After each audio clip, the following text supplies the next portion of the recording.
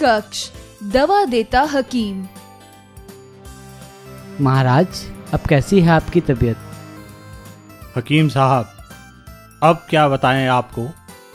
हमें ना ही कुछ अच्छा लगता है ना ही नींद आती है ना ही हमें हमारी तबीयत में सुधार होता दिख रहा है। हकीम साहब हमारे मंत्रीगण को बुलाया जाए। मंत्रीगण का अकबर के कक्ष में आगमन। महाराज की जय हो। हुकुम अपना? मैं बहुत ही ऊर्जाहीन और उबाऊ महसूस कर रहा हूँ। मुझे रात भर नींद नहीं आती। महाराज आप निराश ना होएँ। आप जल्दी ही स्वस्थ हो जाएँगे। सभी मंत्री आपस में विचार विमर्श करने लगे। और उन्होंने एक योजना बनाई। क्यों न कुछ ऐसा किया जाए जिससे हमारे राजा का स्वास्थ्य और खुशी दोनों लौट आए। हम्म हमें जल्दी कुछ ऐसा करना होगा जिससे महाराज की हँसी वापस आ जाए। तो फिर देर किस बात की?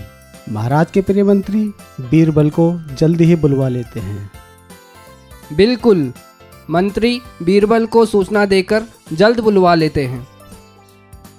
बीरबल का महल आगमन बीरबल मंत्री गण संवाद।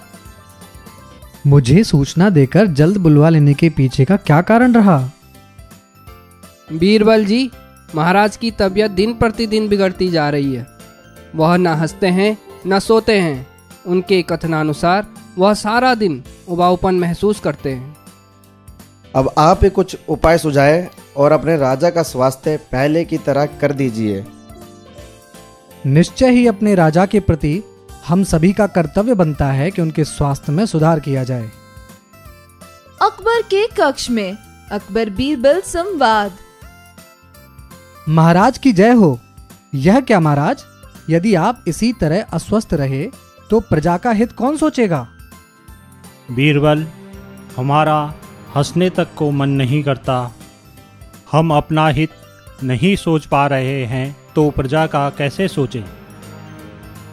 अगर ऐसी बात है तो मैं आपको एक ऐसी कहानी सुनाता हूँ जिससे आपका न केवल स्वास्थ्य ठीक होगा अपितु आपके होठों की मुस्कान भी लौट आएगी। बीरबल तो सुनाओ कहानी। एक जंगल में सौ साल पुराना बरगद का वृक्ष था जिस पर अनेकों पक्षी रहते थे। सभी पक्षी रोज सुबह अपने बच्चों के लिए भोजन की तलाश में उड़ जाते और शाम को जब लौट कर आते तब अपने बच्चों को भोजन देते।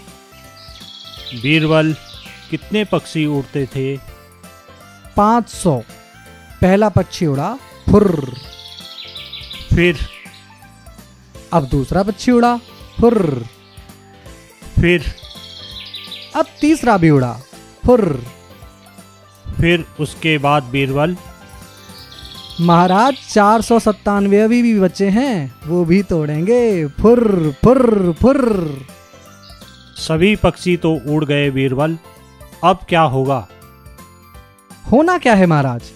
शाम को लौट कर आएँगे अपने बच्चों को खाना खिलाएँगे और अगली सुबह फिर एक बार फुर्र। हा हा हा हा बीरबल अब बस भी करो। तुम्हारी कहानी से हमें अब नींद भी आने लगी है। आप विश्राम कीजिए महाराज, मैं आपकी खिदमत में प्रातः हाजिर होता हूँ। बीरबल की बुद्धिमता और चतुराई की सभी मंत्री गणों ने अकबर के कक्ष में पर्दे के पीछे से कहानी सुनकर प्रशंसा की।